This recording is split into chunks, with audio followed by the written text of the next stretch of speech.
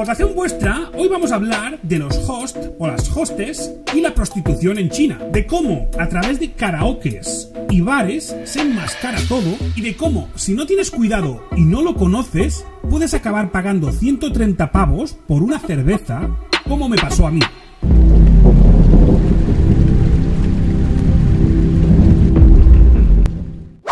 Soy el Alien Rosa, y si eres asiduo a mi canal, sabrás que hay un montón de prohibiciones por ley en China, como el acceso a algunas páginas web como Google, Facebook, YouTube y todo lo que pertenezca al demonio blanco del occidente. Tampoco se te ocurra en redes sociales hacer alguna broma sobre el gobierno o sobre su presidente relacionándolo con cierto oso. Además, está prohibido cualquier uso que se le pueda dar a una máquina del tiempo. Así que si queréis visitar a Freddie Mercury, pues desde China no, tenéis que hacerlo desde otro país. Pero por encima de todo, está prohibido todo el contenido erótico, sexual, toda prostitución. Pero claro, por mucho que tú prohíbas, si hay demanda, y te aseguro que el chino demanda mucho de esto, pues si hay demanda, hay oferta. Una oferta que está mayormente cubierta por los locales de karaoke o KTVs, como se conoce aquí en China, o los bares. Y hoy concretamente me voy a centrar en los bares. Bares tipo pub, tipo bar musical. No son los típicos bares esos de carretera que hay en España, que se ven unos, unos letreros de neón ahí de color rosa gigantes que pone club y que todo el mundo sabe qué significa eso. Y antes de empezar, déjame recordarte que si dejas un like, si te suscribes, a mí me da la vida. Y si además lo compartes con tus amigos, ayudarás que el canal crezca y eso...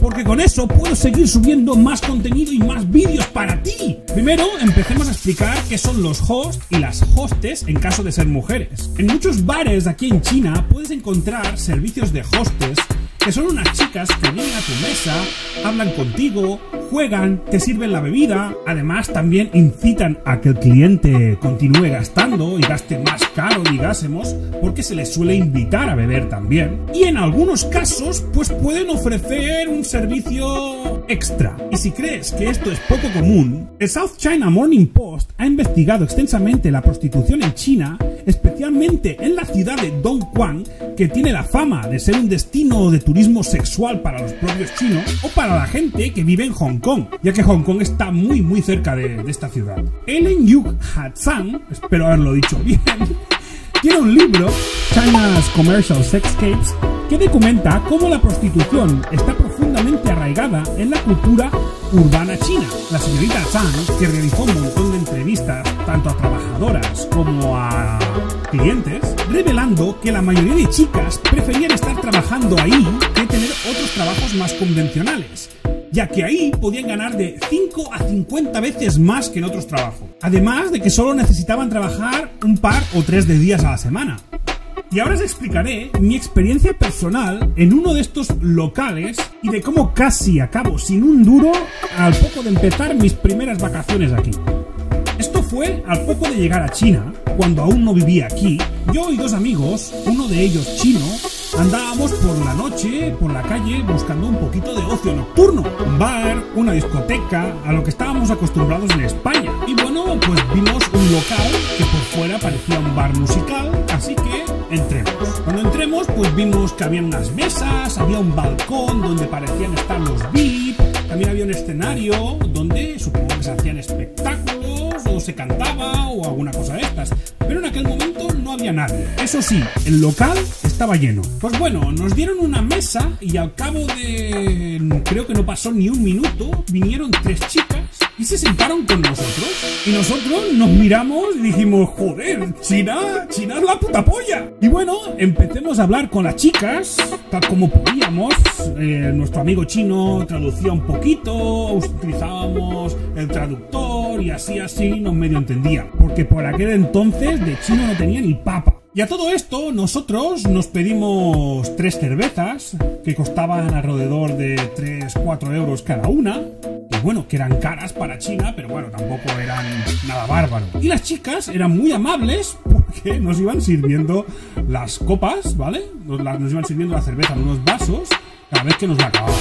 Yo sé, yo sé que esto puede parecer muy obvio, pero si vosotros hubierais estado en China o habéis estado, sabréis que es que en China eso puede parecer común, puede parecer común. Y a todo esto nos llamaron para participar en un juego ahí en el escenario, un juego que trataba de lanzar un dado. Así que, ni corto ni perezoso, pues fui para allí, tiré el dado, salió un 6, y como el 6 es el número de la suerte en China, pues nos regalaron una botella de whisky, una botella de Jack Daniels. Yo, todo contento, pues volví a la, mesa con mi botella de Jack Daniels, bien contento, todo triunfante. ¡Eh! Ganado una botella de Jack Daniels. Las chicas estaban ahí eufóricas. ¡Sí, una botella de Jack Daniels! Y encima se volvieron aún más pegajosas que antes. Pero bueno, al cabo del rato, pues vimos que la cosa no nos acababa de convencer. Las chicas parecían excesivamente cariñosas con nosotros, lo cual ya empezaba a oler mal. Así que salimos del local. Y a lo que salimos del local vienen cuatro chinos mamadísimos y le dicen a nuestro colega el chino pues que no habíamos pagado. A lo que nosotros encendimos nuestra furia española y le contestamos, pero ¿qué dice este flipado? Y bueno, se ve que nosotros habíamos pagado las cervezas, pero como habíamos bebido whisky gratis, y además había que pagarle la propina a las chicas, teníamos que desembolsar pues mil yuanes más, que al cambio vienen a ser unos 130 euros. Nuestro amigo chino, después de haber discutido un buen rato con ellos, vino y nos dijo a nosotros que mejor que pagáramos, porque si no la cosa se podía poner fea. Podíamos acabar en el fondo del río.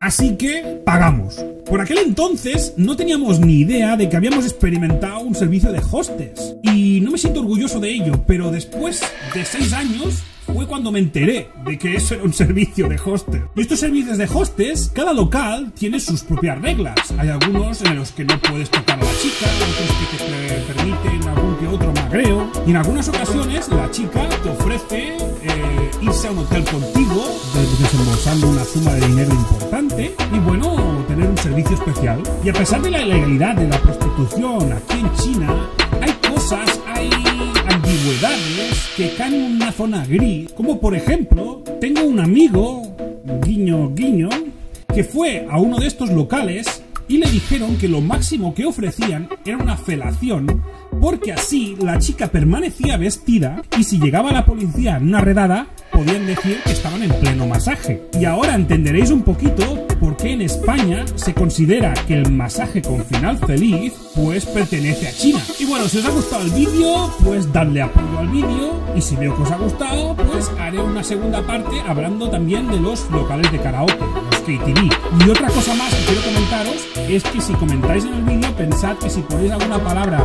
rara, YouTube oculta el mensaje y hasta que no lo apruebe no puede verse y a veces pasa un tiempo. Así que si ponéis palabras de estas, intentad ocultarlas un poquito para que así pueda ver vuestros mensajes al momento. Nos vemos en el próximo vídeo. ¡Chao!